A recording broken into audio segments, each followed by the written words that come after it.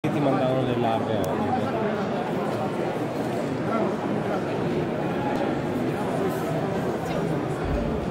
Sì, sì. Quelli che non hanno capito il concetto di...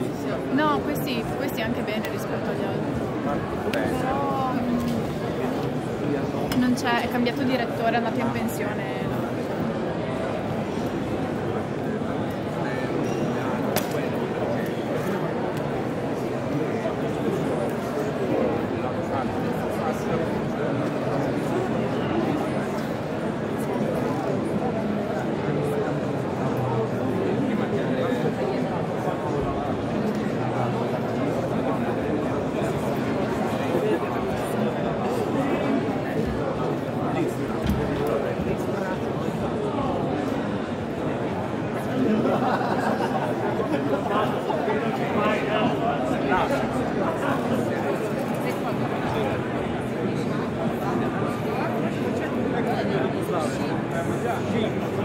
Aspettiamo se no...